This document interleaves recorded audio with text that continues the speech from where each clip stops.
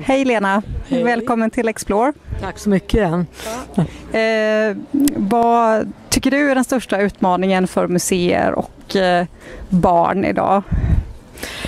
Ja, det är ju naturligtvis att vara fortsatt relevanta och jag kan ju se en stor skillnad från det att jag var liten själv. Inte bara det här att man skulle hålla tassarna borta och inte röra något, att man nu får röra.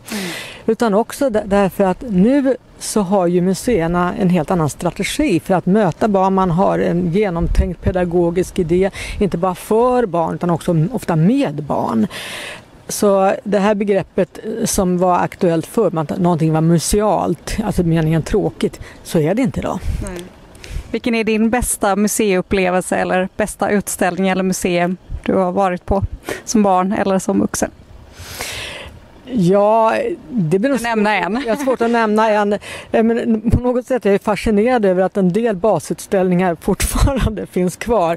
Eh, Min mormor som gick, gillade museer, hon tog med mig på de flesta tror jag, Stockholms museer. Och den här 1600-talsdukningen på Nordiska museet med svanen fascinerar ju alla barn. Det är kanske därför den fortfarande är kvar och den minns ju jag också.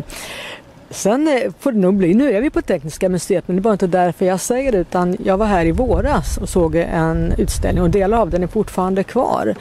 Som handlar om hur man lyste igenom en människa, det var bilder och det, sen fick eleverna resonera kring vad hade hänt med den här personen. Det var en människa som hade dött i en bilolycka.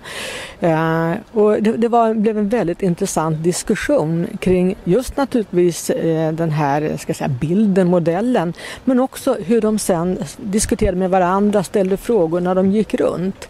Alltså de var i hög grad delaktiga. Så att nu tycker jag det är roligare att gå och se på publiken och deras reaktioner. Så hands-on är framtiden tror du för museer? Man ska kunna ta och röra på föremål och vara delaktig helt enkelt. Är det framtiden för museer? Ja, alltså, framtiden kan förändras fort men det är en naturlig del i nuet skulle jag säga. Vad framtiden bär med sig, det vet vi ännu inte. Eh, annat än, att eh, vi naturligtvis, museerna fortsätter göra sitt grunduppdrag, samla och forska på det som man har i sina magasin och samlingar och därmed kommer också ny kunskap upp. Och det här med att vi blir bättre också på att samarbeta mellan museer. A- Att man också samarbetar över gränserna, att konferenser som den här kommer ut och att nya idéer får fäste. Men det är det som är, det är, det som är framtiden. Tack så mycket för att du kom. Ja. okej. Ja,